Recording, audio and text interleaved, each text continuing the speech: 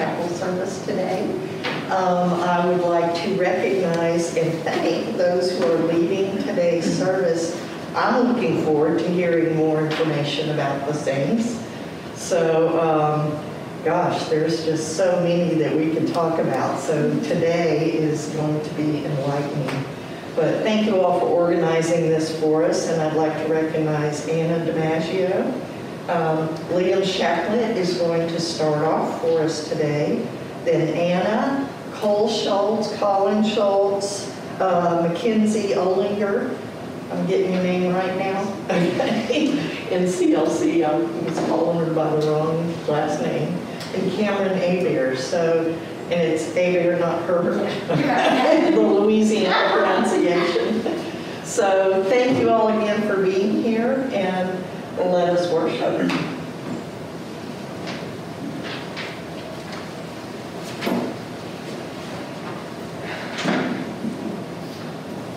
Dear Lord, we thank you for this day and we thank you for all the gifts and opportunities that you give us.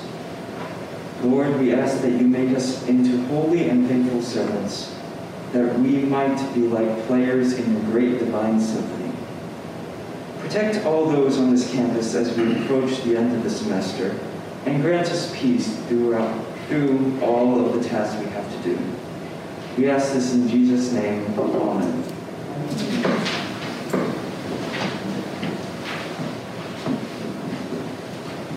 Hey y'all.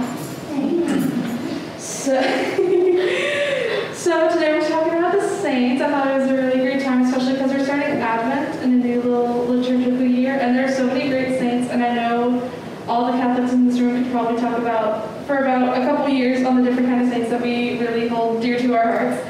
Um, but because we are like on a Methodist campus, I wanted to like clear up misconceptions about like the role of saints for us first. Um, so the biggest misconception that I hear is that we worship saints, which is not true. We very much revere them, and we seek their examples and learn from their lives. Um, first and foremost, we desire to be like Christ. Um, but we find a lot of guidance and comfort in watching another broken person struggle with the same things that we do, or love the same things we do, and love God so fiercely, um, and like choose Him even throughout all of His brokenness and everything like that. Um, so we get to learn from their lives, and we get to ask them for prayers, as I ask all of you to pray for me, and as we ask each other to pray for us. Um, and yeah, so I'm going to read a little excerpt from the um, Catechism of the Catholic Church, just about little saints, and then we'll get started in our big long line of saints. So, um, excerpt 958. The intercession of saints, being more closely united to Christ, those who dwell in heaven fix the whole church more firmly in holiness. They do not cease to intercede with the Father for us, as they offer the merits which they acquired on earth through the one mediator between God and man, Jesus Christ. So by their fraternal concern is our weakness greatly helped. So, my saint that I'm going to talk about is my confirmation saint, St. Elizabeth of the Trinity. She's not very well known. She doesn't even have like holy cards as we have for many, many saints. Um, but she was a Carmelite nun in France. Um, before she became a nun, she was a concert pianist, so you know that sparked my interest. And she basically spent her entire life in like the Carmelite um, meditating on the perfect love that comes from the Trinity. That's all she did her entire life, was trying to understand like how perfectly like God is love and how He loves us and how we are called to love like that. And I think that's like for me. Um, was really inspiring just to like go back to that very basic like understanding of like yes god is love and that is worth a lifetime of like wondering about and like discerning and knowing about. Um, so one of her favorite quotes for me is, believe that he loves you, believe in his exceeding love. If nothing else, believe that he loves you. Um, so yeah, that's kind of why she's near dear to my heart. So I'm gonna pass it over to Cole, and here we go.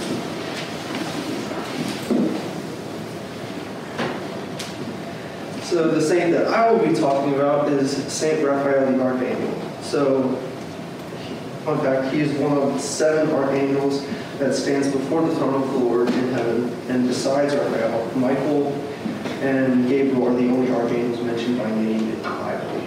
Uh, he's one of a few saints who was never actually human, but he became a saint for his work in helping humanity.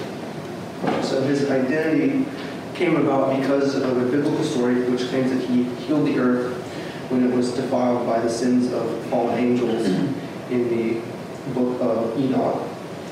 Thus, he is the patron saint of healing.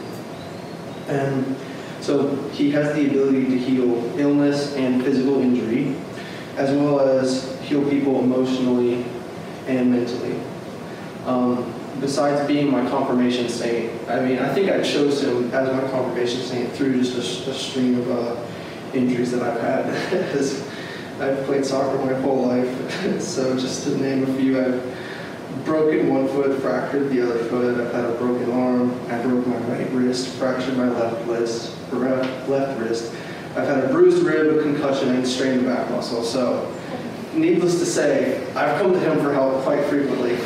So it's it's very fitting that uh, uh, he was the patron saint of healing. And I can't say that he's worked any miraculous healings where like I was just better the next day, but I've gone through all my injuries uh, better than I was before. So I can definitely say that he has worked worked in my life, and his healing is has been a true presence, especially through that concussion, which was most recent. Um, to this, that is Saint Raphael the Archangel, and I will now turn it over to Paul.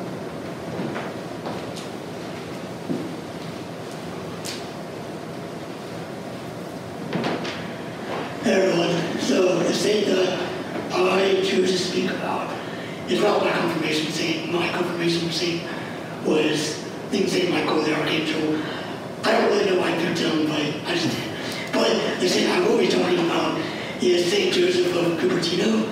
So this is the patron saint of test taking, if anyone did not know that. So a little bit of backstory on Saint Joseph of Cupertino.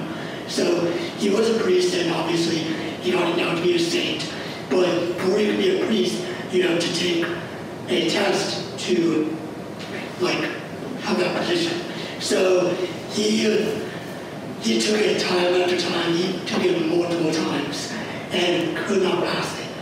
And you know, like like everyone would, you start to get frustrated. Like, is this like the thing I did? The like the thing that God's calling me to do in my life? Is this what I want to do? And so he just prayed to just prayed to Father and was like, just when I take the test the next time, only give me the questions that I know the answers to. So the next time he took the test, he passed. So I picked the saint because I feel like I relate so much to him because I I know all of you others struggle with test taking um, to some extent. It is hard, it's super frustrating, and a lot of when you start for the test, when you get the test, it just goes you don't even remember it. But me personally, a little story. Um, so I, I'm interested in going to dental school, but to get into dental school, you have to take the DAT, which is the dental admissions test. And I took it a total of three times. So my first time I got a relatively good score, and my second time taking it, I did a lot worse. And I was really, I was really concerned, like, is this even like the right career for me?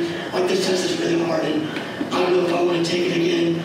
But after praying about it, just asking St. Joseph Cupertino to like intercede for me, for the Father, I started taking again, and I increased my score by two, and it's the score I have now, and I'm satisfied with it. So I say that because that's my own personal experience, and I'm sure a lot of all of you in this room definitely have your own personal experiences with test taking anxiety or like just struggling to take tests. And so that's why I picked him because uh, I definitely struggle with that, and every time I need help, I go to him to intercede for me. Definitely. So after that, I would turn it to, I think, Mackenzie to talk about St. Catherine of Siena.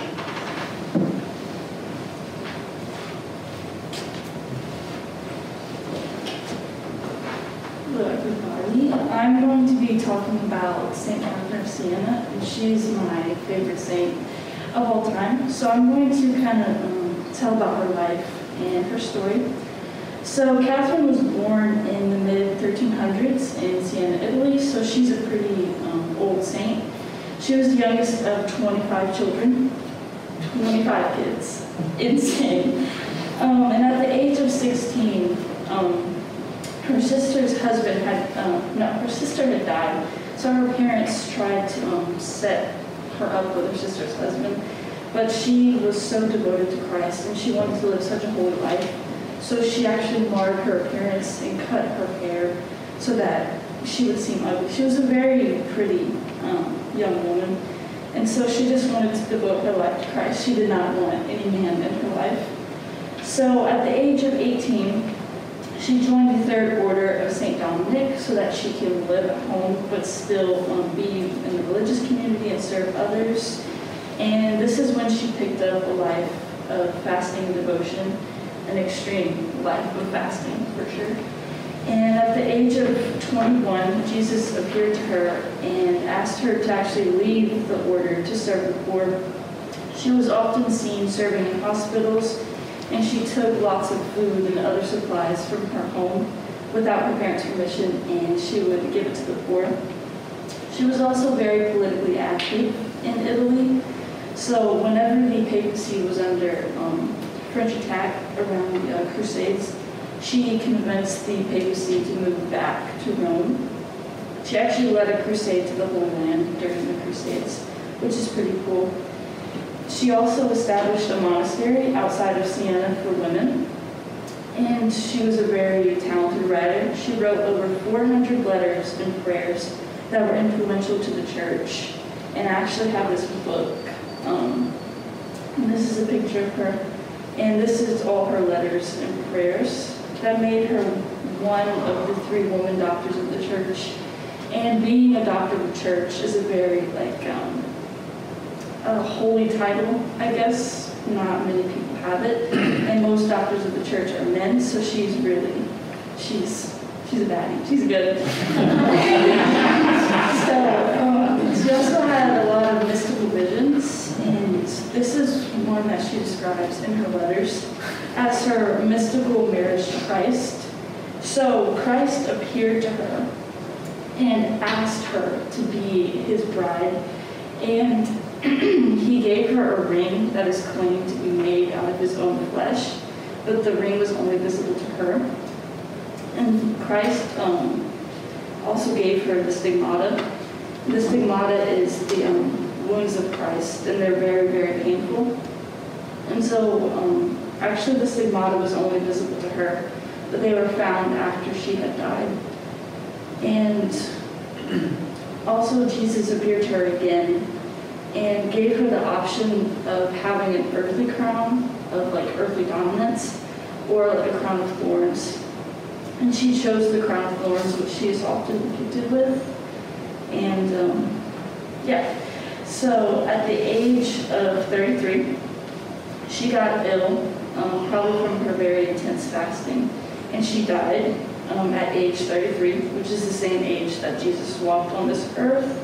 And a fun fact, her body is incorrupt, which means that um, it did not decay. So actually her face kind of decayed a little bit. I've seen pictures.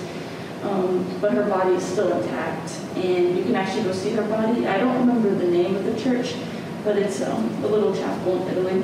So if you're interested, you can go visit her, along with some other saints that are also incorrupt.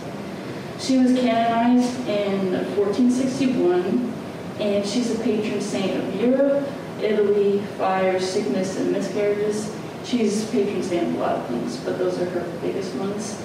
And the reason, St. Catherine was my confirmation saint, and I had a very, um, like, personal experience with her um, around my confirmation. So she, like, um, kind of reached out to me. There's, like, a saying in the church, like, you don't pick the saints, like, the saints find you. So she kind of found me. And her life is so very inspirational, and she's my biggest role model in faith. And she's just such a powerful and holy woman, and she inspires everyone around the world, especially women. And I think that um, she's just awesome. So yeah, that's St. Calvin. And I will turn it over to Ken.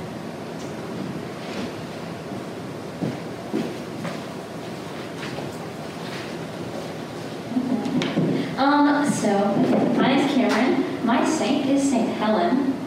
So, I chose her because she was my confirmation saint, like uh, many of us have said. And she's the patron saint of difficult marriages, um, divorced people, converts, and archaeologists. And it's really because um, her husband had like some political power, and then her son ended up reigning.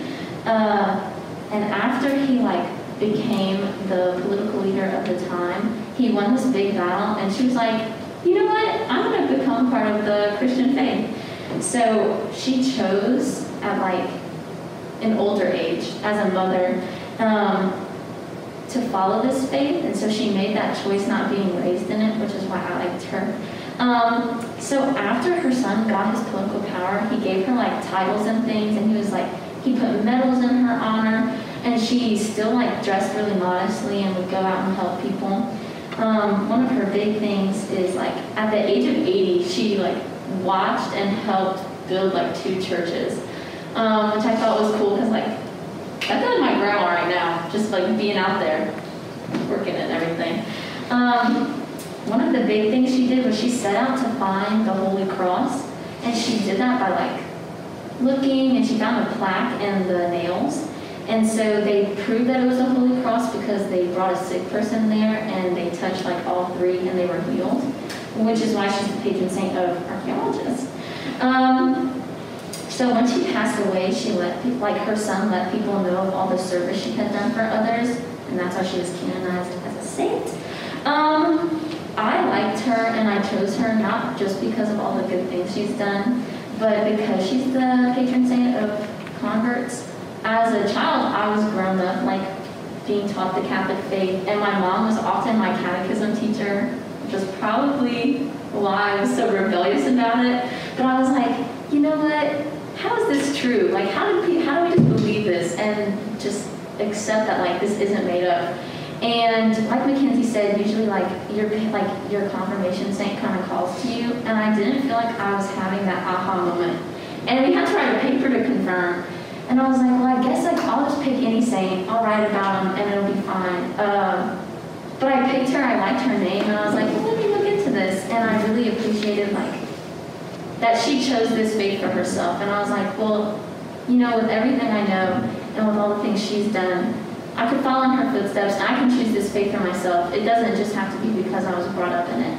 And so it was like my own little conversion, I guess. Like from like, okay, I was taught this, but now like I will follow this for myself. And so that's my record. That's St. Helen. Closing prayer. Yeah, so before closing prayer, I'm gonna um, give you just a list. So saints have patronages, as you've kind of heard. It's kind of like their specialty because of something they've done in life or something they're really good at or something they struggled with. So this is kind of like a fun list of things that help us college kids, especially going into um, prep week and finals week. So St. Anthony is the patron saint of lost things. Um, I definitely have used, I've been like, St. Anthony, where are my car keys? I don't know. Um, Saint Expeditus is the patron saint of procrastination. So if you just need to get something done, say prayer. Um, saint Joseph of Cupertino is the patron saint of test taking, like um, like we heard about today. Um, saint Vitus is the patron saint of oversleeping. So I also have prayed much to him in the last couple of weeks. Um, St. Albert the Great is the patron saint of science students, because I know we have a lot of science students in the room. Um, saint Drogo is the patron saint of coffee. And then Saint Dymphna is the patron saint of anxiety. Um, so, and there, if you ever have a struggle, like a Google search away will help you find a saint that like can give you an inspirational story or something to learn about. Um, but yeah, thank you all for sharing, and let's just close in prayer. Dear God, we thank you for these holy men and women that you have given us as an example to follow. We ask that through your steady effort and purification, that you might make us more whole and like you. We ask Mary and all the saints to pray for us and with this day and to help us become saints too. God, we ask you to bless us in this Advent season as we await your coming. Help us to grow in patience and truth and kindness today. We ask all this in the name of Christ our Lord. Amen. Thank you all, that was beautiful. I, uh, I learned a lot about saints. Do any of you have any questions? You you want to field questions?